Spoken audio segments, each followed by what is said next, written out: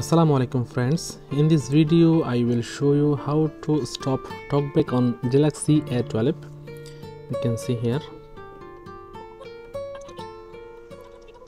Talkback is on. So now I how to stop. You need to use two finger for scrolling like that. But then if you need to select uh, need to select setting one tap then two tap then go accessibility this one.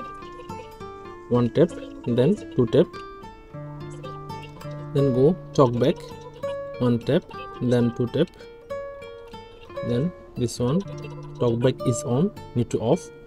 So one tap then two tap. Here turn off. One tap then two tap. Talk back is off see here it's working now talkback is off. Uh, thank you. Thank you for watching